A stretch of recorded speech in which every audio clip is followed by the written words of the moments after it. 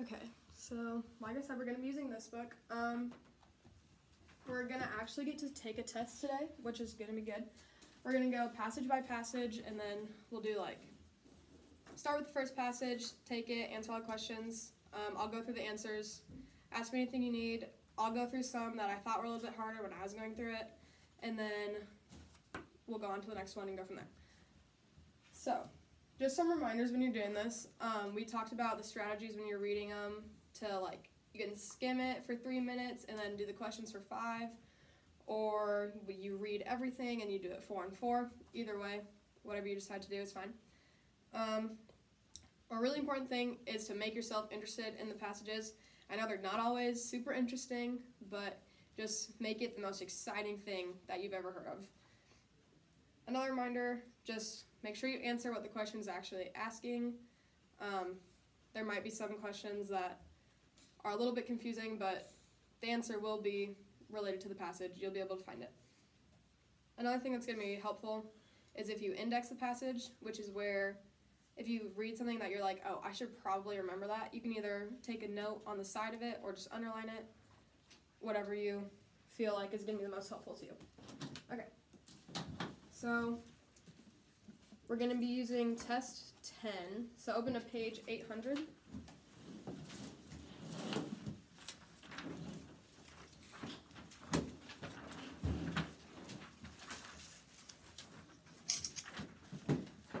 And then since this is probably the first test, or it might be the first test that um, some of you guys have taken, and we just really want to get into the flow of things, we're going to take 10 minutes. I'll write like the start time on the board and the end time, and then you can like use the clock. Actually, it might be a couple minutes off, but okay. So we start.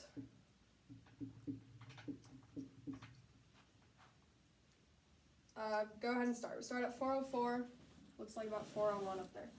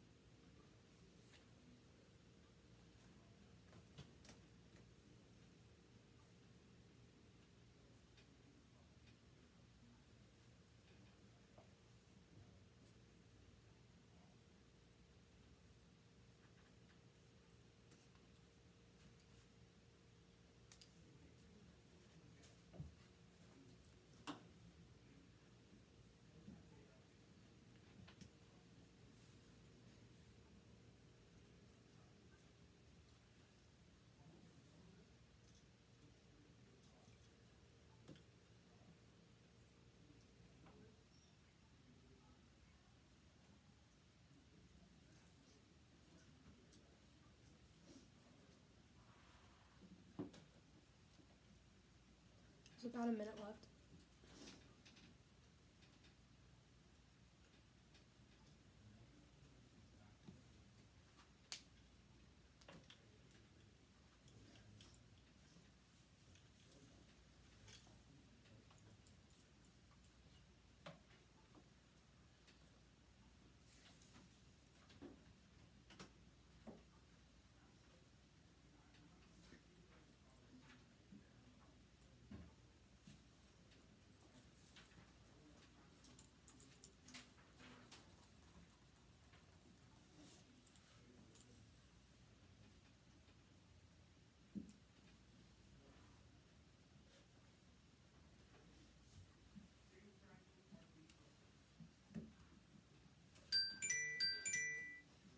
Okay, so that's time.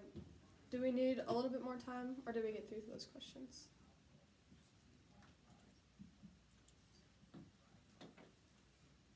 So everybody's done? Okay. How did that go for everybody? Was that like, you say that was harder than you would expect? Easier? Normal? Just felt like, yeah, what you would expect. Okay. So I'll go through some answers. One is C, two is J, three is B, four is H, five is D, six is G, seven is D, eight is J, nine is A, ten is H. Do I need to repeat any of those? Okay.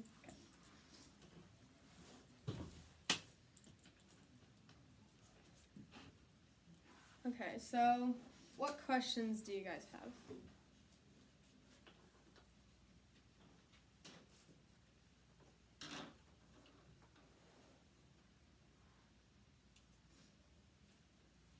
Like any certain numbers? Yeah. Number three. Number three. Okay. So, Mrs. Fairfax's opinion about Miss Eyre and Mr. Rochester's relationship can best be exemplified by which of the following quotations from the passage? So, the answer was B. How it will answer, I cannot tell. I really don't know. So, throughout this whole passage, Miss Fairfax was like, Isn't he too old for you? Isn't he like a proud man? Like, she was really unsure about everything going on. So, it also started with like i feel so astonished so she just really could not believe that this marriage was gonna happen so how will answer i cannot tell i really don't know is kind of showing how much she really doesn't think that's a good idea or why she doesn't know or didn't expect it to happen so that's why b is the answer any other ones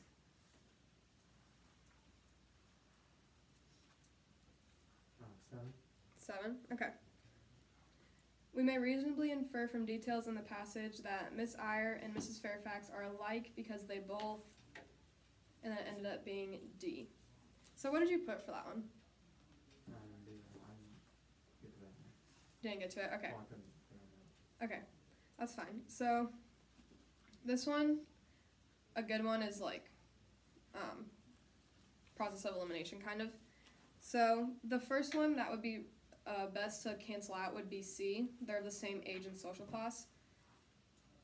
They might be the same social class, but they're not the same age, like whatsoever. Because on line like 12, it said that Mrs. Fairfax had a dear husband who died like 15 years ago. So she's definitely not the same age. So that's why you can cross out C. And then um, A, believe that Mr. Rochester should not marry his governess. It wants to know why you think that Miss Eyre and Mrs. Fairfax are alike. And Mrs. Fairfax might believe that Mr. Rochester shouldn't marry um, Miss Eyre, but Mrs. Eyre obviously doesn't think that if she's going to marry him. So that's why that one's not it. And then for B, believe that Mr. Rochester will break Miss Eyre's heart. Well, if she's going to marry him, she obviously doesn't think that he's going to break her heart. So then it can't be that one. But they do both say that Mr. Rochester has been very fond of her. So that's why it's D. Four. Four. The phrase, you are so discreet and so thoroughly modest and sensible, in lines 63 to 64, is used by Mrs. Fairfax to. And then we got H for that one. Okay. So.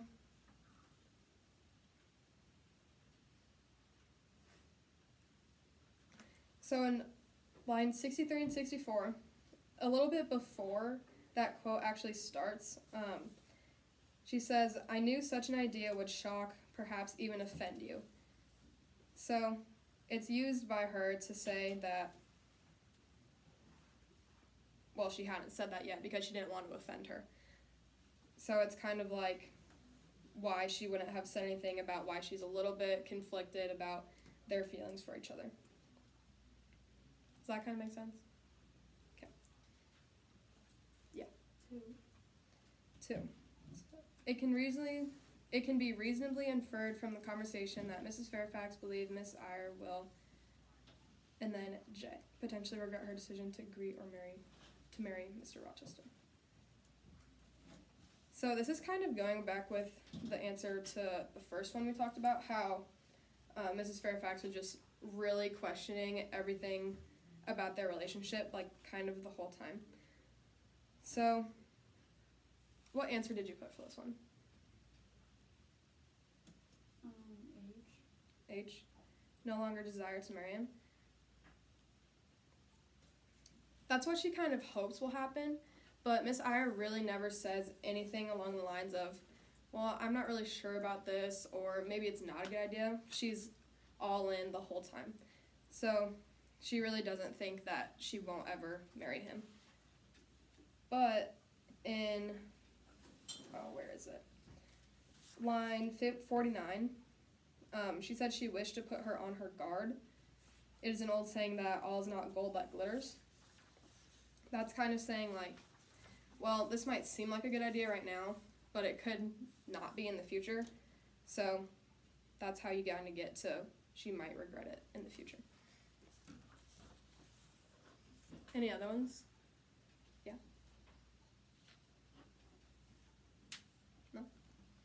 Okay. So one thing I kind of forgot to mention before that one is to when you start a passage, make sure you read that little bit in the beginning to kind of preheat your brain is how we said it last time. So go ahead and start passage two. We'll start at 420, end at 430.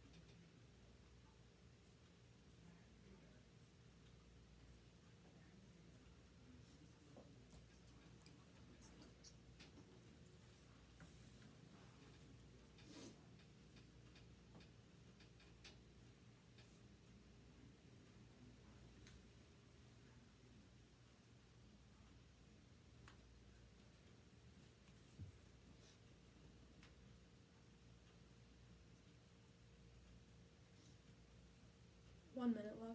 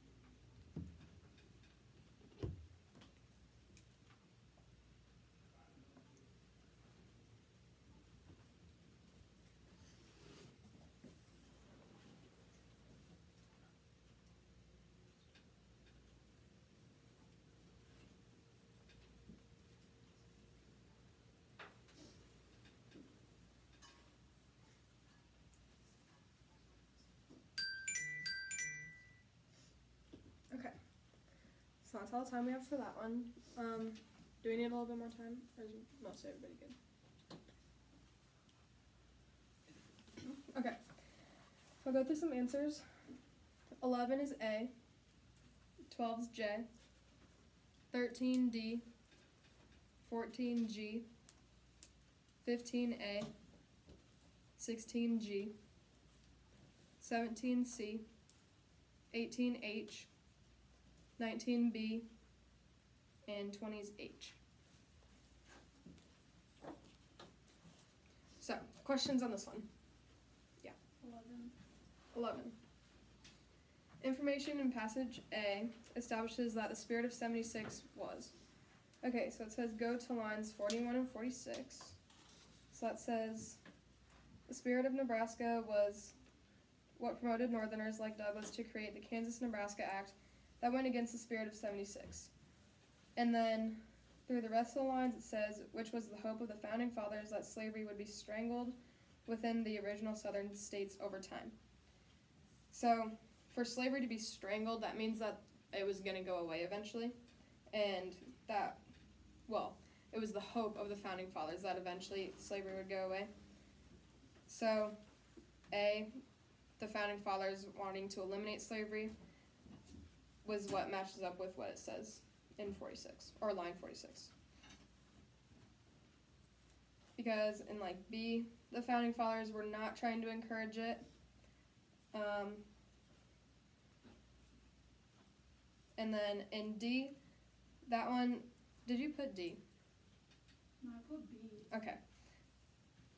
Well it's not going to be that one because they weren't trying to encourage slavery. It was just allowed still in the south um, and it was never going to die out on its own because of how um, how much the southern states were actually promoting it. So that's why it doesn't match up with B. Other questions?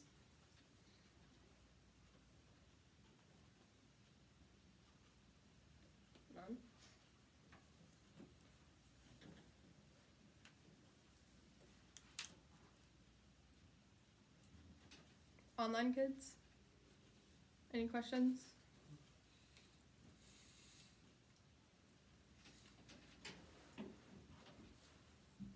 Okay, I'm just gonna choose one. Um, how about 16? So passage B indicates that the late 1850s Democrats, and then the answer is G. So this one is a little bit more difficult because they didn't give you the actual lines that they wanted you to go to. But it does give you passage B, so that's a good place to start.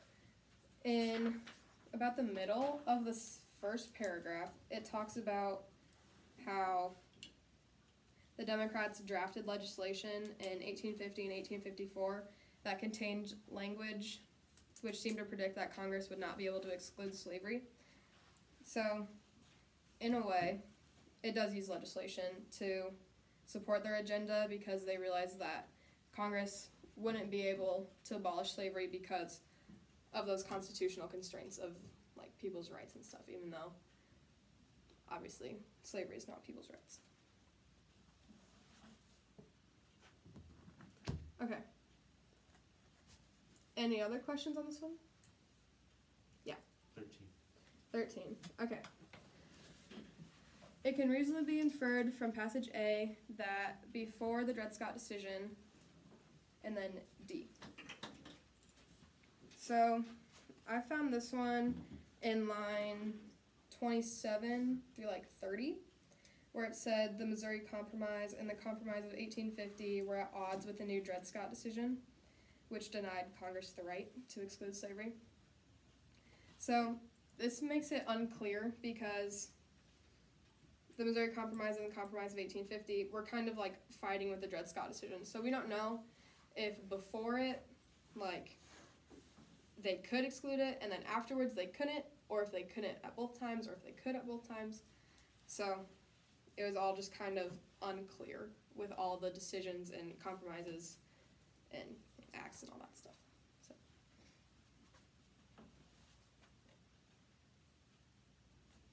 Anything else? Seventeen. 17. Okay. Which of the following statements best describes how Lincoln felt the rest of the country was responding to the expansion of slavery?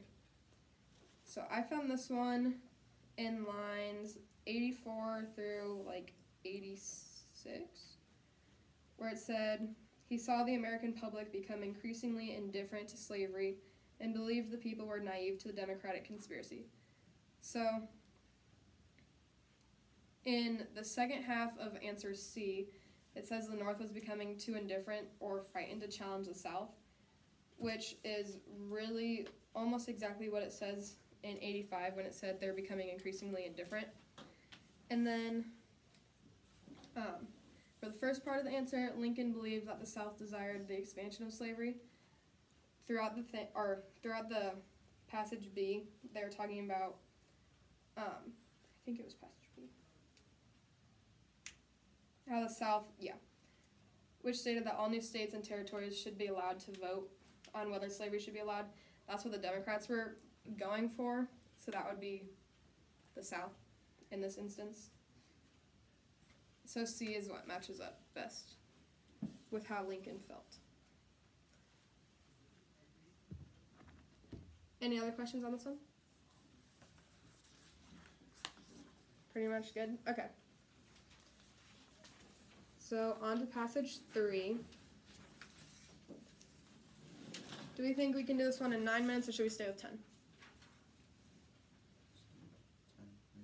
Ten, maybe. With ten? Okay. Sounds good to me. So go ahead and start.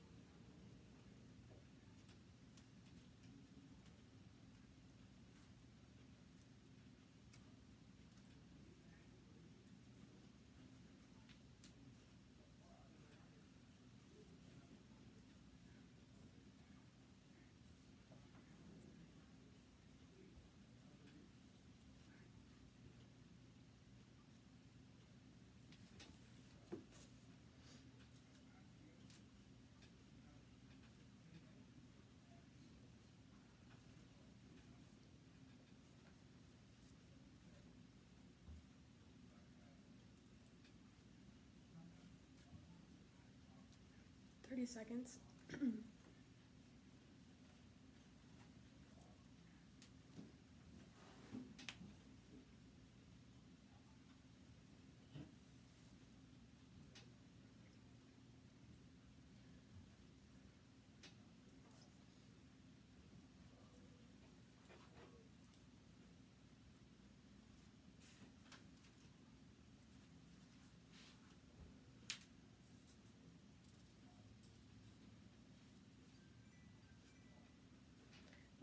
Time. Was really quiet for some reason. Okay. 21 is C. 22 J. 23 C. 24 F. 25 D. 26 G. 27 B. 28 J. 29 A. And 30 F.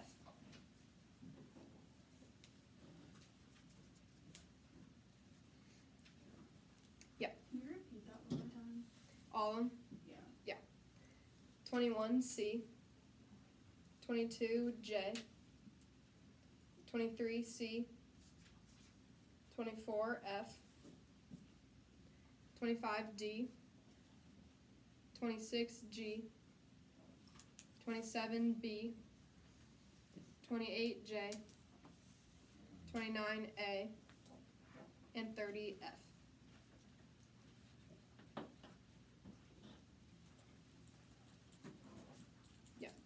Twenty-four. 24. Okay. Details in the passage suggest that. Okay, so this one is probably. You could do process of elimination with it, but in line 70, it said the last character that I played was Sir Harry Revel. So, if you just look at option F, the narrator does not always cast to play female characters that one has it kind of like explicitly stated that she played a sir, which is like a guy. And then if we do go through the other ones, the narrator preferred masquerade scenes.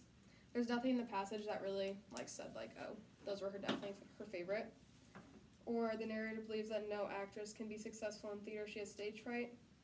Well, this girl was obviously terrified every single time she stepped on stage, and she did all right.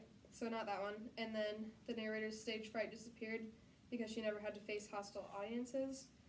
Well, in her second play, the audience was not happy about it being a different one. And then she was terrified because she thought that she was the one that made the mistake, but I guess her stage fright never disappeared because she was still scared at that point. So then F would be the only one that's actually like supported in it. So yeah. Other questions on that? Twenty-six. 26. Okay, yeah, this one was confusing. It took me, like, it was hard. So, it ended up being G with it going 3, 2, 1, then 4. So, option 3, playing the character of Amanda in a trip to Scarborough. That happened first out of all of the four things that are listed there. And that's, and option G is the only one that has 3 stated first. So it would have to be this one just by process of elimination. It was a little tricky with, I think it was when she played like in the miniature picture and the epilogue song. Those two were both at the end of her career, but a little bit mixed up in the answer choices. So that's where that one will get a little bit confusing. But yeah, since three happened before everything else, it would have to be at the start, and G's the only one that it has at the front. Other questions? No. Gonna have to choose one.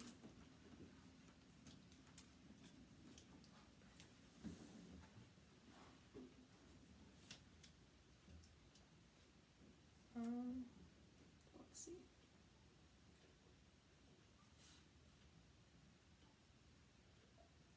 Let's do 30. The primary focus of lines 34 through 40 is and then we get F. So in lines 34 through third, oh my bad, 34 through 40, it's talking about all of her experiences right after that play just got over, where there's applause and people talking about her and talking to her and all this stuff. So, option G, the opinion of an important gentleman regarding the narrator's performance. Well, that happened in there, but it wasn't what they were really trying to get across in that little paragraph. And then option H, the narrator's elation because she had become famous. Well, it said she was complimented on- all sides and she experienced like such a great feeling after being rewarded by all this applause and stuff. But that's still not exactly what she was going for for being famous. And then J, the narrator's own reflections on the quality of her first performance. She wasn't really thinking back like, oh my gosh, in Act One I messed this up, and then Act Three I was like amazing.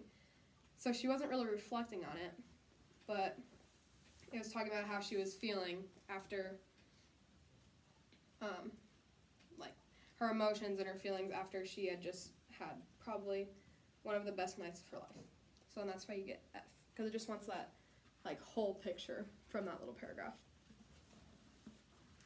Okay, and then we don't have time for another one, so you guys can start your break right now.